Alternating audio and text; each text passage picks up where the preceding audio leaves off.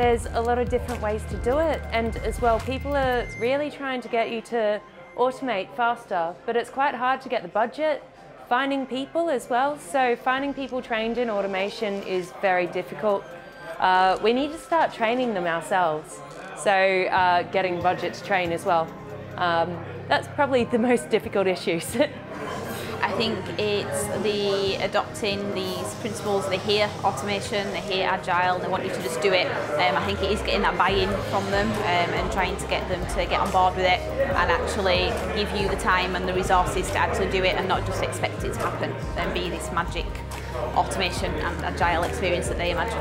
Recruitment is always a challenge because uh, the Leeds market has got incredibly competitive compared to what it used to be uh, 10, 15 years ago. It was very much an employer's market then, but now it's definitely, uh, as a tester, as a, someone who can contribute effectively in a, in a testing sense to a team, it really is your market.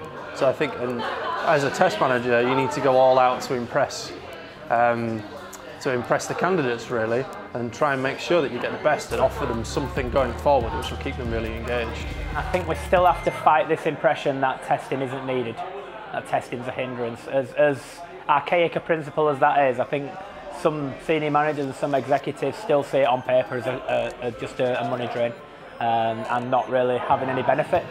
But time is the biggest problem. The turnaround now for, for software is increasing in demand. I mean, you've got people at Google releasing code every 11 minutes. You, you're trying to fit something which is inherently cumbersome and slow into smaller and smaller delivery cycles. For me, that's probably the biggest challenge.